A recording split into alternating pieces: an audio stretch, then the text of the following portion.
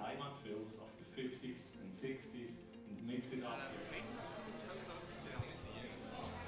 Ja, ich glaube, ursprünglich ist es mal so fast aus der Verzweiflung herausgekommen, dass es keine guten Schweizer Genrefilme gibt. Selber bin ich halt ein grosser Genrefilm-Fan. Ich denke, äh, ja, in, mit diesen Filmgenres kann man eben sehr gut auch ein ernsteres Thema aufgreifen, aber es dann auf eine unterhaltsame Weise erzählen, das nicht so trocken ist wie irgendein Sozialdrama. Und äh, ja, da habe ich ein bisschen genervt über die langweiligen, ewig gleichen Schweizer Filme, die immer rauskommen. Und habe gefunden, das muss mal jemand ändern. Und wenn es halt niemand macht, dann mache ich es halt selber. Und äh, ja, es war eigentlich die erste Idee, gewesen, machen wir einen Film, wo wir Elemente vom Schweizer Heimatfilm nehmen und die mischen mit Elementen von Exploitation und B-Movies aus den 70er und 80er Jahren und so eigentlich ein neues Genre kreieren. Aber ich bin selber relativ überrascht, dass vorher noch niemand ist auf die Idee kam, so etwas zu machen. Ja, das ist eine gute Frage und ich muss sagen, im ersten Konzept, das wir geschrieben haben, war Heidi sogar nur eine Nebenfigur. Gewesen. Und ähm, ist dann aber in der Diskussion mit den Produzenten zusammen eigentlich rausgekommen, die Heidi ist so bekannt weltweit, eigentlich muss man unbedingt auf die Heidi setzen.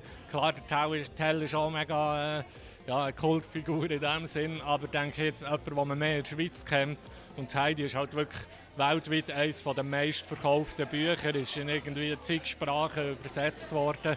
Und darum äh, ja, denken wir, ist es auf jeden Fall der richtige Entscheid gewesen, dass man aus dem Heidi die Hauptfigur macht, weil man einfach wirklich überall auf der Welt kann das Heidi erwähnen und die Leute können sich zumindest gerade ein, ein Bild vorstellen mit den schönen Alpen und dem Mädchen in den schönen Bergen. Und bei uns fährt der Film so an und nachher gibt es aber eine unerwartete Wendung, wo alles ein bisschen düsterer und äh, brutaler wird natürlich.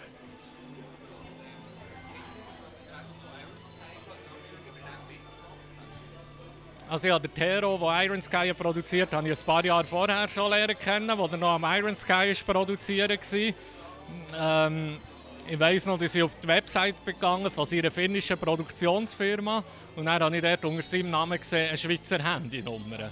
Völlig überrascht gewesen, wieso hat er eine Schweizer Handynummer? Habe ich mal geschrieben und dann habe ich gefunden, ja, ja, er lebt in Zürich, in Zürich seit fast 20 Jahren. Und ähm, ja, dann habe ich schon dann eigentlich gedacht, okay, wenn ich dann vielleicht mal ein Projekt habe, wäre das jemand, das man angehen könnte, weil in der Schweiz sind Produzenten, die Genrefilme machen relativ rar. Und ähm, ja, dann war eigentlich klar, gewesen, als ich mal so ein erstes Konzept habe niedergeschrieben habe, dass ich das als erstes Mal ihm zeige. Und dann bin ich eigentlich auf ihn zugegangen mit dem und er war gerade sofort begeistert, gewesen, vor allem eben von diesem Swissploitation-Konzept. Und hat, ja, ich habe ihm mein Konzept vorgelegt, habe mit ihm geredet, habe ihm ein paar Sachen, eine kleine Präsentation gezeigt, die ich vorbereitet habe. Und dann war er Feuer und Flamme für diese Idee.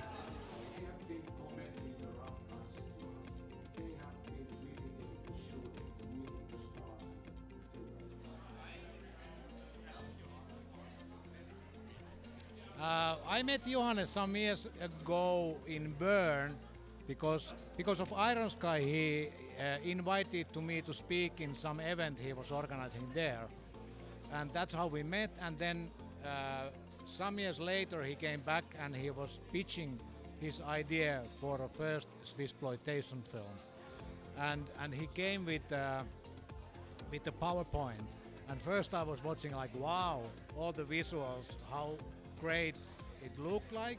And when I saw the slide, first Swiss exploitation film, I immediately thought this is something because I've been I'm, I come from Finland, but I've been living here that time already like over 10 years, and, and I've been thinking about all these Swiss cliches and what people outside Switzerland think about those, and then I was immediately hooked. This is something we have to do.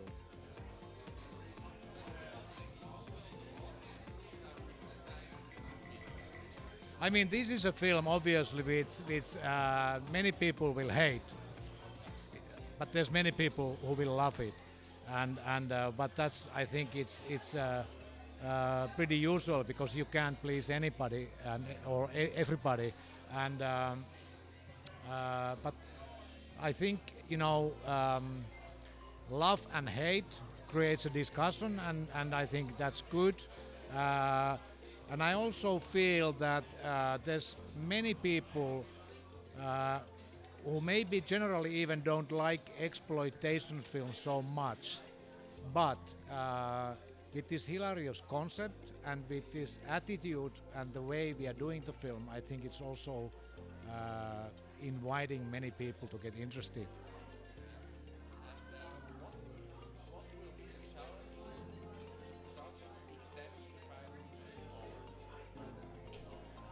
Yeah, I mean, filmmaking is always full of uh, challenges, and and uh, uh, first of all, whatever budget you have, it's basically never enough. You know, it's it's always the, the issue. You have to you have to be very creative also in the ways you do it to get the, the best outcome uh, with uh, you know smaller money. Um, I don't know. I mean, one of the challenges is always to to uh, uh, to find the balance with the money and with the outcome to be able to to to create something which looks 10 million instead of 2 million.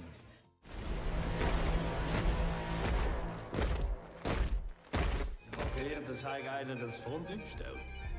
Mm, I love the smell of cheese in the morning.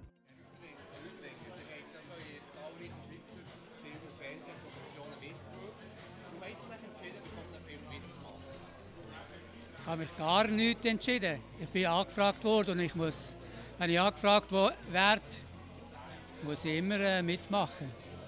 Ich kann mir nicht äh, meine Sachen auslesen. Ich bin einfach eine Idealbesetzung für einen Oberst, weil äh, als es kann niemand so gut ein Militär spielen wie ein Antimilitarist. Weil der bringt erst den nötigen Hass für die Rollen auf.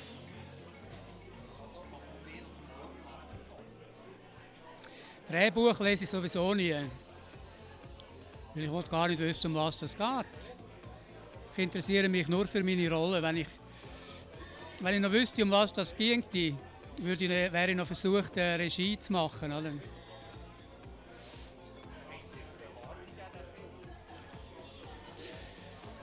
Was ich für Erwa Ja, ich hoffe einfach, dass es sehr witzig ist.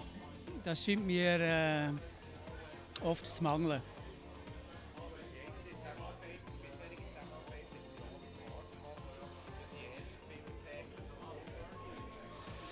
Das war super. Also wenn man, der Johannes hat mich einmal äh, getroffen in Zürich und äh, hat mir eben das Angebot gemacht, bei dem Teaser mitspielen. Hat mir aber nicht gesagt, dass der auf Englisch ist. Also hat, ich weiß auch nicht, er hat es vergessen oder äh, zufällig bin ich Englisch bewandert und nachher äh, beim Drei von dem Teaser super gewesen. Die haben mich einfach laufen lassen. Und ich habe mich äh, bedankt bei den ähm, Herren von der Regie, dass sie mich einfach machen lassen. Dann haben sie gefunden, ja, wenn man ein gut Casting, gutes Casting mache, dann äh, können die Leute laufen.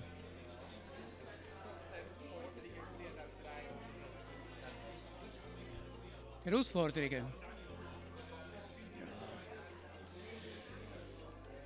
Also in einem Trash-Film mitspielen ist für einen Schauspieler äh, extrem befriedigend, weil da kannst du mal richtig in die Vollen. Insofern ist das eine freudvolle Herausforderung. So speziell, äh, sonst, hockst du immer irgendwo am Tisch und äh, aber da, da kannst du äh, genau. Up to the fatherland! Long live the fatherland!